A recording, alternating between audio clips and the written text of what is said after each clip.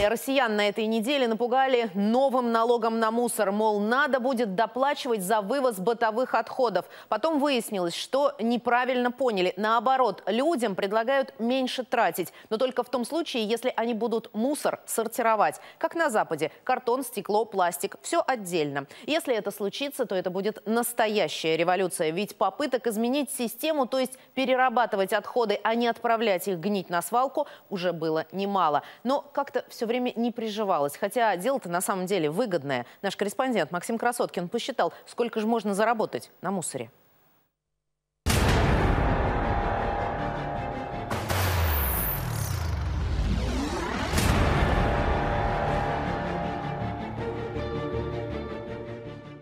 Чего тут только можно не, не встретить, вплоть до того, что э, купюры иностранной валюты, причем пачками.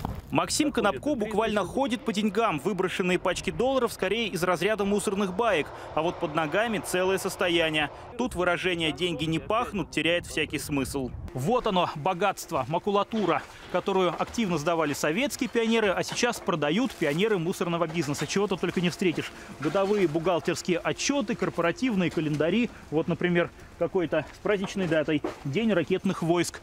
Школьные учебники, газеты, журналы.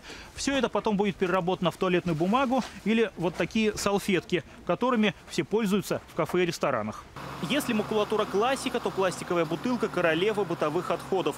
Основная статья пусть и официального, но грязного бизнеса.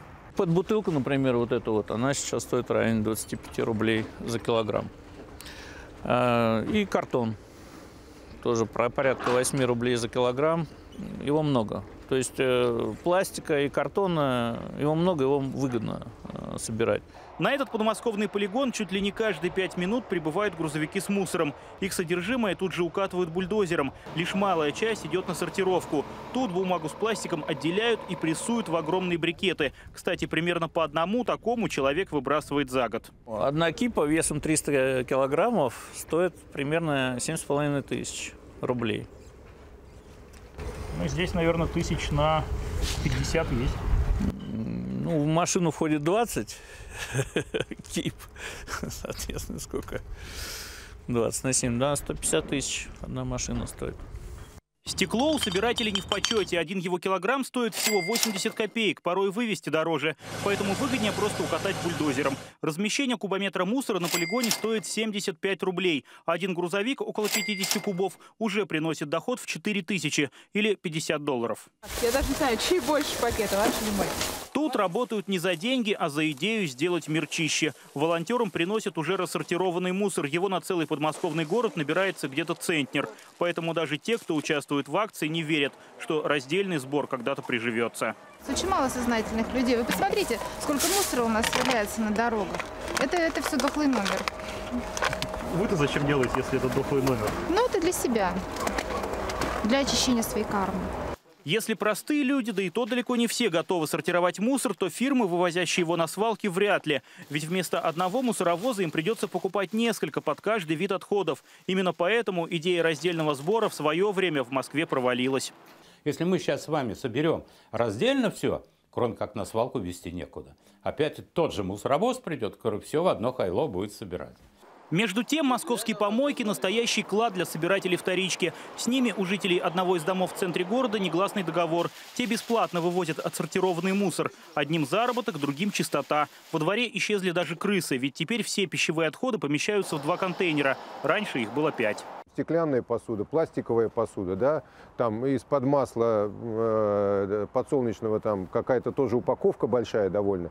А реально мусора мелкого такого, очистки и все прочее, иногда в 30% от общего объема мусора.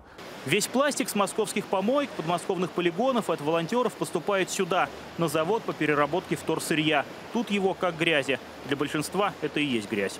Вот та самая пластиковая бутылка, которая наверняка есть в вашем мусорном ведре. В природе она сгниет лет за 200, не меньше, а здесь всего несколько часов, и она обретет новую жизнь. На этой ленте бутылки струи воздуха сортируют по цветам. Синие налево, красные направо. Процессом руководит компьютер. Человек с такими скоростями просто не справится. Дальше тару разрубают в пух и прах. Пластиковые хлопья загружают, как его здесь называют, в реактор, где происходит процесс переплавки мусора в ценное сырье. Эти длинные пластиковые макаронины и есть переработанные бутылки. Дальше на конвейере их мелко шинкуют и получаются вот такие вот гранулы. А из них можно сделать уже все что угодно. Либо снова бутылки, либо вот такие вот одноразовые стаканчики и даже синтепон, которым наполняют куртки. Если пластик с помойки стоит 25 рублей за килограмм, то гранулы продают уже по 80. Такие вот доходы из отходов. Причем цена может повышаться от времени года. Например, летом, когда наступает массовая жажда. В летний период при таком увеличении мы получаем значительно больше сырья и есть возможность также получать более качественное сырье, так как э, очень люди много потребляют не только пиво и сладкие напитки, но и воду что, например, для нашего производства наоборот лучше. То есть сырье, э, сама бутылка идет чистая, не грязная, э, сам процесс отбора с полигона намного проще. Пожалуй, первыми в России сортировать мусор стали гипермаркеты. Тут основные отходы – это коробки, в которых приходит товар. Объемы такие, что любой пионер бы обзавидовался. В среднем э, гипермаркет в месяц сдает э, до 100 тонн э, картона и порядка 5 э, тонн э, пластика. Но тут сортировка – мера вынужденная. Если не сдавать отходы на переработку, то уже через день на складе не останется места для продуктов. Когда-то оно кончится и на полигоне для мусора. Если его просто закатывать бульдозером, то всего через 16 лет свалка должна быть законсервирована. И где-то придется открывать новую. Максим Красоткин, Денис Ильевский, Артем Данилов, Павел Шабанов, Александр Неклюдов и Елена Воротилова. Программа «Вместе».